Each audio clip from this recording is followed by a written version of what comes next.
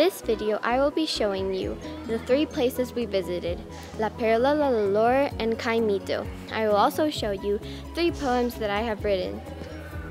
I hope you enjoy.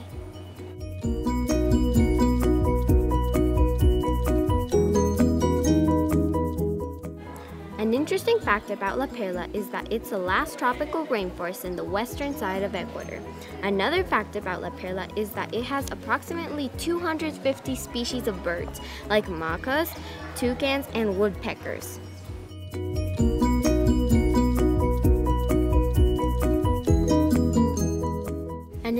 Fact about Lalo Loor is that it's the last dry forest in that zone.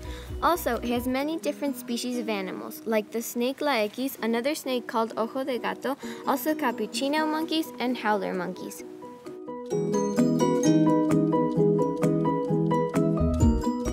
Caimito is amazing because Caimito has cacao trees and people make chocolate out of them.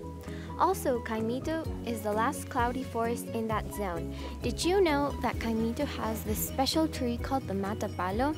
That's so cool.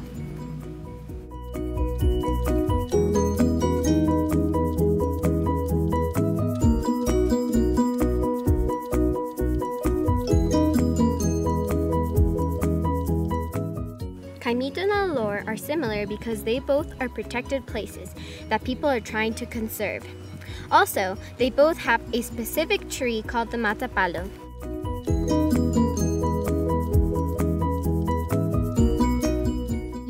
Are different because Caimito is a cloudy forest and Lolor is a dry forest. Caimito has no ocelots and Lolor does.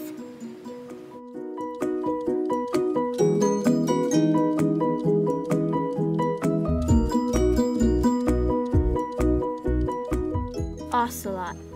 Fast, wild, running, hunting, eating. Being captured by humans. Settling, hearing, capturing. Nocturnal, big, beauty.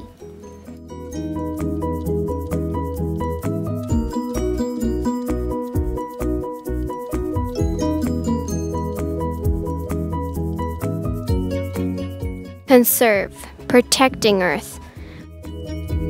With love, we should take care. We must embrace nature, watch for it, treasure.